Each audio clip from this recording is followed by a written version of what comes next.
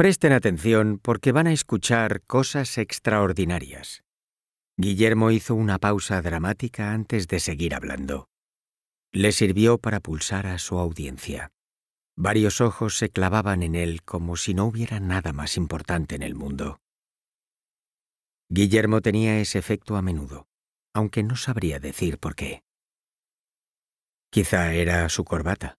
Llevaba puesta una corbata de color verde con figuras de patitos de goma bordadas, como los que suelen tener los personajes de dibujos animados en sus bañeras. A uno de los oyentes la corbata parecía tenerlo hipnotizado. La miraba sin pestañear y con la boca entreabierta. Guillermo sonrió.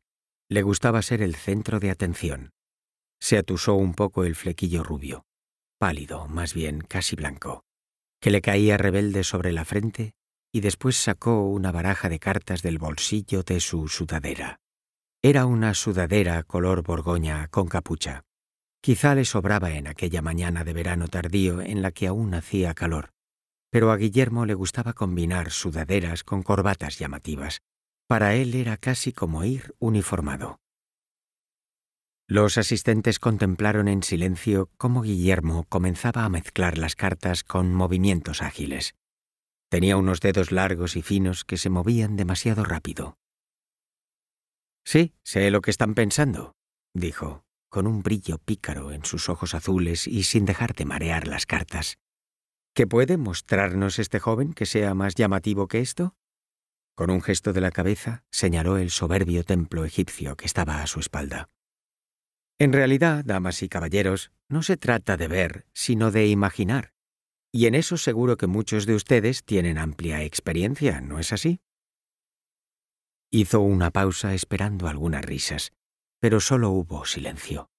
Era una audiencia difícil. Símbolos, arrancó. Nos rodean por todas partes. Algunos son simples, como las señales de tráfico o las figuritas que aparecen pintadas en las puertas de los lavabos.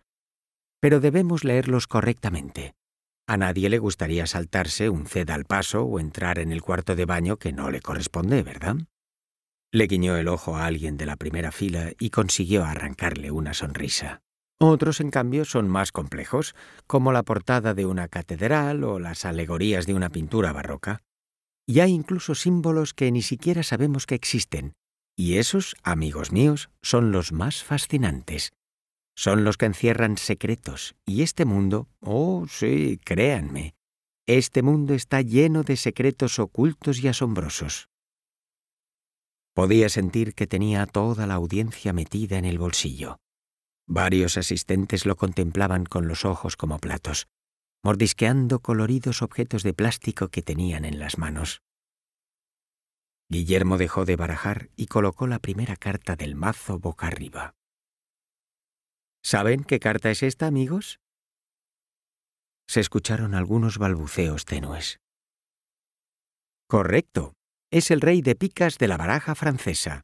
Un padre jesuita llamado Menestrie, que era un experto lector de símbolos, escribió en el siglo XVIII que la primera baraja de Francia se elaboró en 1392 para el rey Carlos VI. Por si no lo saben, Carlos VI estaba como una regadera. Una de las oyentes mostró entusiasmada una regadera de color rosa decorada con margaritas.